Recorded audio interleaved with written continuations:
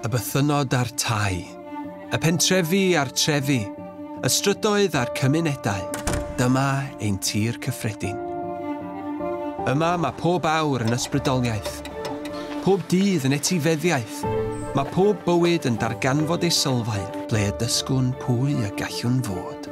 Yr ysgol lle creuwyd Cymru, lle cydiodd enillwyr Grand Slam yn y bel, lle camodd artistiaid, cantorion, actorion ac athronwyr Cymru ar lwyfan am y tro cyntaf i ddisgleirio, i weld y byd trwy lygaid newydd, i greu gwrthdaro grynynau hadron, Mae pedwar o Gymru wedi ennill gwobr Nobel ac mae rhywun yn rhywle yn breuddwydio am ennill y bumed ac felly mae'n bryd i adael ein marc, i ddatgan taw dyma gychwyn ein taith.